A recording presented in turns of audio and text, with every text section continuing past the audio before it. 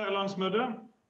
Vi har stått for tidenes veisatsing, skryter ofte Høyre og Frp, men hver anledning det er snakk om vei og samferdsel.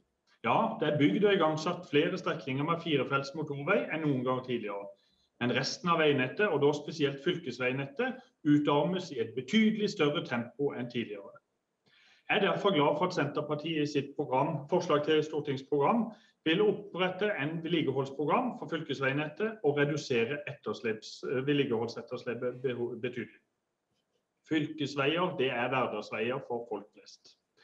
De fleste av oss kjører på en fylkesvei på vei til skole, jobb eller for å levere i barnehagen eller handle.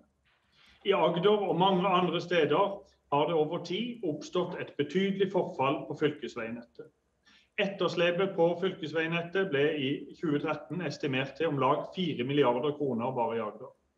I første seksårsperiode i forslag til ny NTP vil regjeringa øremerke tilskuddet til fylkeskommunene med en total ramme på 4,7 milliarder for hele landet. Dette er det samme som 19 km med firefelts motorvei mellom Kristiansand og Mandal koster. Bevilgningene til fylkesvei er så knappe at vedlikeholdsetterslepet har økt hvert år denne regjeringa har styrt. Agder fylkeskommune har nå analysert hva det vil koste å fjerne kritisk forfall på fylkesveinettet i fylket.